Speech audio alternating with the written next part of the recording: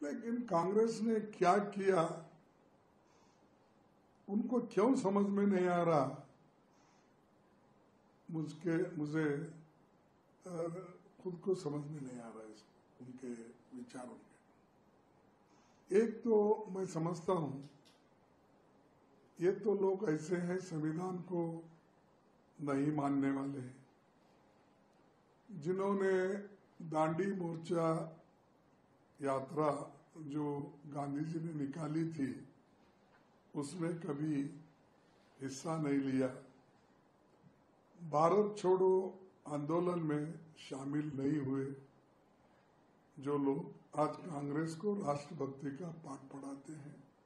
और राष्ट्रभक्ति के बारे में ऐसा बोलते हैं कि जैसा इन्होंने ही चौदह अपने चौदह सॉरी अपना 2014 को सॉरी 2014 को ही इन्होंने देश को आज़ादी दिलाई है, ऐसा उनका मानना है।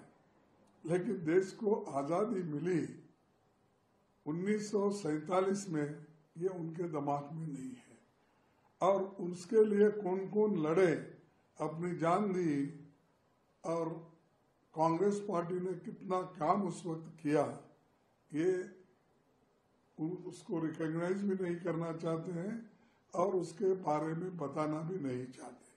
हालाँकि गांधी जी ये गुजरात के हैं और उनको तो ये प्राइड होना चाहिए। कांग्रेस पार्टी के एक महान नेता